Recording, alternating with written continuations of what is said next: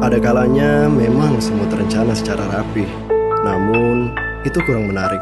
Loh, Pak Sukmo, ngapain joget-joget gitu?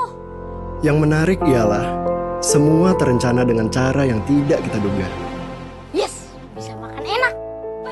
Hasil memang memuaskan, namun proses adalah sesuatu yang tidak bisa dilupakan.